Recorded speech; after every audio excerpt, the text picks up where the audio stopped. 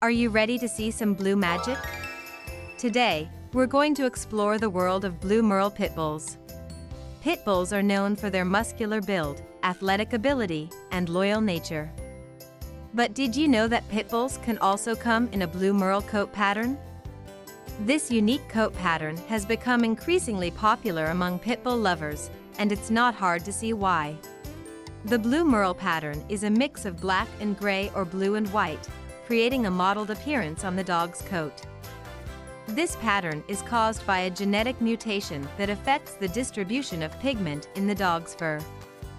The blue color is produced by a dilution gene that lightens the black pigment, while the Merle pattern is produced by a gene that creates a random splotchy pattern.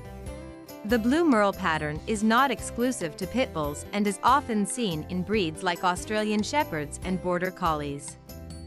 However, there is some controversy surrounding the breeding of blue Merle pit bulls due to potential health concerns associated with the Merle gene. Inbreeding can increase the likelihood of certain genetic defects, so it's essential to research breeders carefully and ensure that they prioritize the health and well-being of their dogs. So, yes, pit bulls can be blue merle, and they can look absolutely stunning in their unique coat pattern. But remember blue merle is not a distinct breed, but rather a unique coat color pattern found in certain breeds, including pit bulls.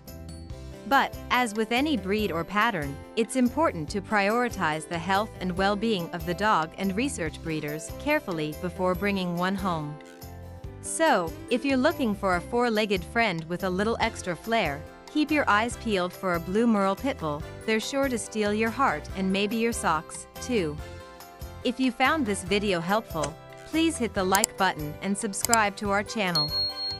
To learn more about Blue Merle Pitbull, please visit our website newpitbull.com, your ultimate pitbull resource.